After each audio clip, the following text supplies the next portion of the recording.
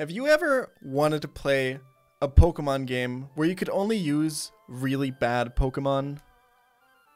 No? Well, I made a ROM hack for it anyway. Me making this ROM hack came out of the desire of making my Nuzlocke even harder by only using really underappreciated Pokemon. Because, let's be honest, some of these Pokemon are really cool and just don't ever get to see play. So, I like Pokemon Emerald, and Gen 3 ROM hacking seemed fairly simple. This was one of my first real ROM hacks that I made. I had almost no prior experience whatsoever in terms of Gen 3 ROM hacking. The basic idea was to make a ROM of Pokemon Emerald that replaces all the possible encounters with ones that you normally don't get to see in these runs. Just, you know, taking out all the good Pokemon. And the obvious thing here is where do you strike the balance between difficulty and variation? Because you could just take out everything that's not complete, utter trash and end up with maybe 50 Pokemon at the end that you have to distribute throughout the like 35 routes of Hoenn. And that's not going to bring you a big variation of different runs or a fun playthrough because you're going to be encountering the same Pokemon over and over again. So the rule of thumb that I came up with with my stream was it's probably the best to have about 150-ish Pokemon left. So the list of possible Pokemon went from this to this. You might some, see some Pokemon here that you think are way too OP, or you might think, hey, why is this Pokemon gone? So me and my stream chat spend about two six hour streams discussing which of these Pokemon to let in, and I'm pretty happy with the list I made. I got at about the number of Pokemon that are originally in Pokemon Emerald, so the variation is actually quite high, and you get to see pretty much every un underappreciated Pokemon. Electric types almost don't survive at all here. Turns out firing off Stab Thunderbolts on high speed is usually good. Um, Electrode seems to be fine. I, we also left in Manectric, but he's in the Safari Zone. And then Plusle and Minun are also in the game. I also realized that a lot of Pokemon gain a lot more viability if you have access to infinite Ice Beam, Flamethrower, and Thunderbolt TMs like you do in Emerald. So I decided it's pretty obvious I need to probably wall off the casino with an NPC. Um, there was other things that I had to do, such as ensuring that the player can't get the Anorith fossil, which is why I added another NPC in the Mirage Tower. And I also decided that breeding should probably be banned since Flareon is in the game, but I don't want people to breed Eevee. Also, Hitmonchan is in the game, but Hitmonlee is banned so breeding that would also be bad. The game is definitely intended to be Nuzlocked, that's the biggest intention, and I didn't make any big quality of life changes or changes to trainer battles, because I figured that, well, I want this to be as close to the experience of Vanilla Emerald as possible, just using bad Pokemon. The link to this ROM, if you'd like to play it yourself, you can get the patch down in the description. It should be linked there. A lot of people are already playing it, and I'd love to hear your feedback about it. I think this could be a really fun adventure for you. I decided to embark on this adventure with my own personal hardcore Nuzlocke rules, no item use in battle, no overleveling the next gym leader, and then the obvious other Nuzlocke rules. I also play with Dupe's Clause, so I can't catch the same Pokemon twice. And that was pretty much about it. Picking the starters was also an interesting question. We tried a few configurations, and I'm actually pretty happy with what we came up with. The starters ended up being, spoiler alert, I guess, Slugma for the fire type, Goldeen for the water type, and Sunkern for the grass type. Slugma is super annoying to play in the early game, but it has a lot of fun tools in Flame Body, Smog, and Yawn, so you can play around with status a lot. And then you might think, hey, Goldeen actually seems pretty good, especially for Roxanne. Yeah, except for the fact that Goldeen doesn't get a water type move until level 38. Yeah. So those are the three starter options. Maybe you're already you've already made up in your mind what would be the best one here. Um, but maybe go find out yourself and play the ROM. Pokemon placement was another thing. I tried to place Pokemon so that you couldn't get certain Pokemon before certain gym leaders. I tried to avoid almost all water and grass type encounters before Roxanne. I believe the only grass type encounter outside of the starter that you get before Roxanne would be Hop Hoppip. I try to obviously place stuff like Zigzagoon or Rattata early because it just kind of makes sense, and then some more interesting stuff like Smeargle, Ditto, and Unown early as well. So you could actually delve into using those in the early game before something like Unown starts to fall off drastically. Let's jump into my own run of this game. If you'd like to avoid spoilers to which Pokemon are on which route, I'd uh, invite you to go download the patch now, play the game for yourself, and let me know how you felt about it. So I jump right into attempt one, and I picked Slugma because Slugma's a pretty fun boy, and I love him. I, I mean, just look at this guy. I swear to you, just look at his face. And I immediately lose to Rival 1. I don't grind enough. You Usually I assume that the first rival fight is always free because it's kind of rigged in your favor in most games, but in this game with Slugma, not so much. He just wasn't able to quite hold up against the Mudkip. And that's wipe number one right there. So, after obviously an appropriate time of morning. I attempt attempt to, so like right away. We start with Goldeen, which again doesn't get a fucking water type move until level fucking 38. Why the fuck would you? I'd like to also mention that by my Nuzlocke rules, uh, Route 101 is usually skipped as an encounter because in Emerald, that's where you encounter your starter. Gift encounters are not extra encounters by my rule set. So early game, we pick up some pretty standard stuff. We get the Zigzagoon, we get the Poochyena, we get the Venonat in the forest, we get Unown, north of Rustboro. We get Ledyba, which is fucking bad.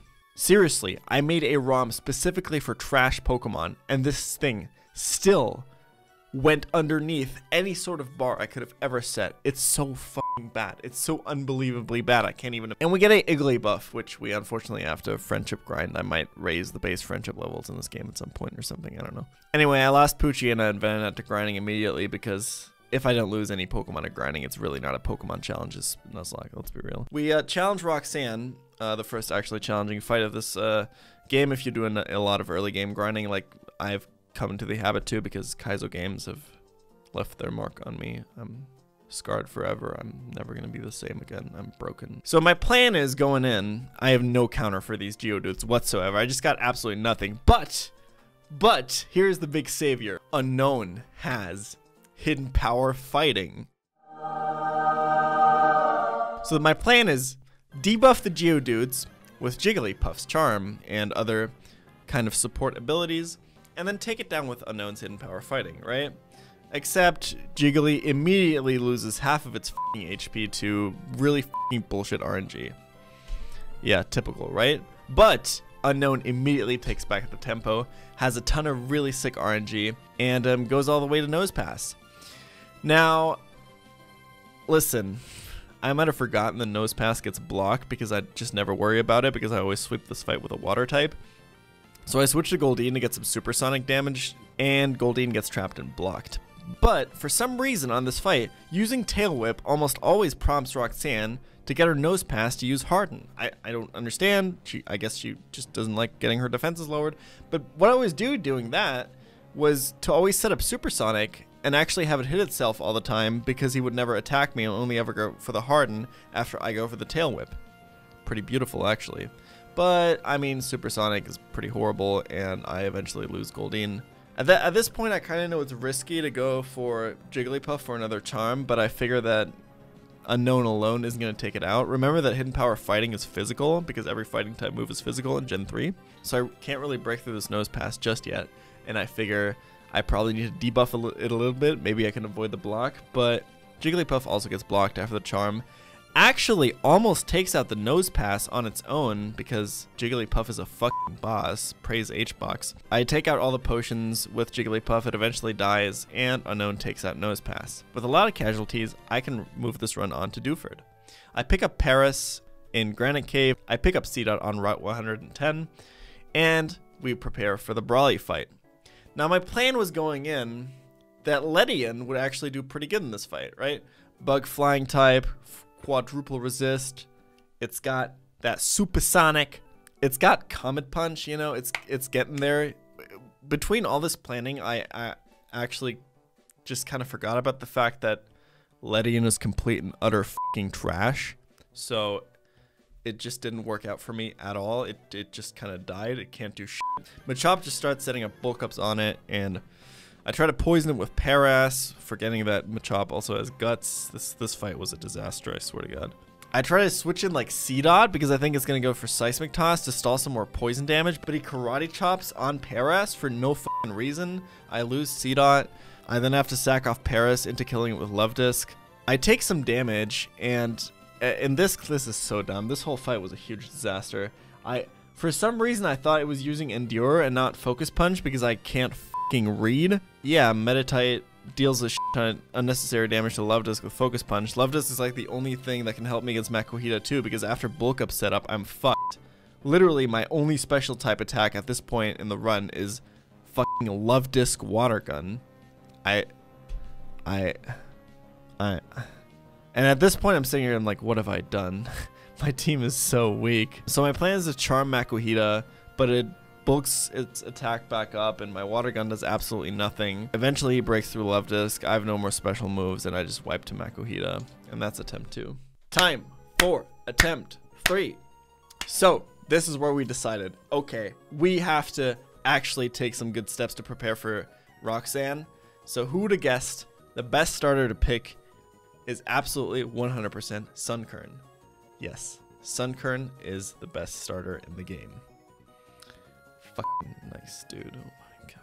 So after picking up some mediocre encounters, including fucking Ladybug and god fucking damn, I did get Hoppip and Smeargle, which are going to be pretty important later on. I actually almost ended up not getting the Smeargle. I caught it on the last possible ball while it was struggling itself to death, which is actually pretty funny considering what happened much later in this run. And this is where we find out that Sunkern actually absolutely annihilates Roxanne and sweeps it with no problems whatsoever. Praise Game Freak's game balance. Thanks. After fishing up Luvdisc, picking up Paras again in Granite, and again getting Seedot on 110, I had to get my revenge on Brawly. I actually have my first death here while losing Letty into grinding, but like, like, like, ask, seriously, ask me if I care. I don't give a shit about fucking letting it can fucking die, this piece of shit. As our lead for Brawly, we end up picking up Skiploom, which actually, this is one of the first big things that I learned in this run, and one of those things I was hoping to learn. Skiploom is actually really cool. We can lead with Sleep Powder to put Machop to sleep. Sleep Powder actually slaps, but man, this thing's offense is so ass. Its only good grass type move that it gets early game is Bullet Seed, which I have to teach from a TM. It's actually really interesting if you think about how grass types are kind of balanced around having complete garbage moves but a really good utility early game. Also turns out beating Meditite is actually much easier if you remember it's using Focus Punch and not Endure. Eventually, after a few Sleep Powder bulk up cycles and I wear down its HP and its potions, I have to switch out to Beedrill because recovering the Synthesis isn't safe anymore when playing around the crit, but Beedrill makes pretty quick work of Mac Macedonia. The notorious Rival 2 fight is actually pretty scary for me too in this run because I have no counter for Combusken. My only counter typing wise is Luvdisc, and with its stats, I can only hope that Combusken gets a paper cut while double kicking its thin body to death. However, help arrives in the form of Support Togetic. Yawn triple charm turns the fierce raptor into a tame chicken wing, which Luvdisc has all the time in the world to spray and make all soppy and soggy and disgusting. I don't know, guys. I, uh, I had to think of this analogy, and now now it's in your head too. Good luck. In any case, the big next fight is Watson, where most of the feedback that I got from my community and others that have played this game have told me that there is quite a big difficulty spike. Countering both his Magneton and Manectric actually turned out to be quite tough with the Pokemon available up until this point, but I'm confident in my team here. I picked up a Dustox west of Mauville. This seemed like the best point to put the Wurmple line, to prevent players from sweeping Brawly with them while still having them available fairly early. Well, it turns out Dustox is actually quite the beast, and this fight can be cheesed heavily using the team of Skiploom and Dustox. In retrospect, my encounter synergy was pretty off the charts this run, but this will become even more clear later on. This fight also sees the advent of a cheesy strategy that I'll be utilizing a lot throughout this entire run, and that's Guts Raticate. My Raticate has the ability Guts, which boosts its attack when afflicted by status conditions. In competitive, this is abused by using a Toxic or a Flame Orb. In this game, because we're Nuzlocking, we can simply utilize Guts by poisoning our Raticate on a Wild Mon and healing it with potions before the fight. It's kind of like a performance enhancing drug that kills you slowly with every step. I didn't actually have a single move that even dealt neutral damage to Magneton on this fight. It has a monstrous special attack stat, and Stab Shockwave really, really hurts. It even has Sonic Boom to threaten those grass types that resist Shockwave. However, this is where things become extra cheesy. I'm talking cheddar cheesy. Turns out all we need to beat this Magneton is Skiploom's Leech Seed and Dustox's Protect and Moonlight. This was one of my favorite moments of the run. It made me realize an awesome synergy between two Pokemon I'd otherwise simply never used together and completely disregarded. Also, again, note how these low tier Pokemon are often balanced by getting quite good utility moves early on. It's actually pretty fun. Parasect walls out Manectric, and Nuzleaf and Beedrill eventually help take it down. Zero deaths to Watson. We're chillin'. The next part of the run becomes a delicate balancing act between what Guts Raticate can and cannot one-shot with strength. Remember, I can't let this really in on anything because he's taking poison damage every turn, and Raticate doesn't really, you know, have any defense. I should note here also that this list is made with the assumption that trade evolutions are not possible. This is why Machoke and Haunter are in this game. I pick up Machop and Sableye, who get added to the team, and I challenge Maxie. It's also worth noting that my Smeargle is running Synthesis, Headbutt, and Spore at this point. Getting any move I have onto my Smeargle is fairly easy as I can just have a Wild Smeargle sketch, for example, my Skiploom Synthesis, which I can then sketch with my own Smeargle. Luvdisc is the obvious candidate for taking out Camerupt here, but damn does it suck! Water Gun off of that special attack just isn't enough, even with a 4x weakness. I go for the Charm and die to Magnitude 8 after Water Gun fails to kill it. You won't be missed, buddy. Let's be real. At this point, Guts Raticate can clean it up, though. I pick up Onix and Jagged Pass. Onyx, Onix is... Why is Onix so fucking terrible? Here's a list of Pokemon that have more attack than Onix. Sentret, Nidoran Female, Joltik, Ditto, Bulbasaur, Chikorita, Finneon, Oddish, Poliwag, Drifloon, Vanillite, Charmander, Piplup, Cyndaquil, Spritzee, Sewaddle, Venonat, Oshawott, Pidove, Tynamo, Nidoran Male, Spinarak. How does this have less attack than, than this? How? I go and challenge Flannery. Guts Raticate easily takes out her first two mons, but then another fat camel stands in my way. Togetic casually flexes his massive 105 special defense clock into its face and tanks an overheat critical. You know, no biggie. However, I end up having to sacrifice it because nobody on my team can take Torkoal's second overheat after the white herb. Egg Boy ended up getting scrambled. Press F, guys. At this point, Attract really starts fucking with me because my team is all male. At least Flannery is tearing down the patriarchy.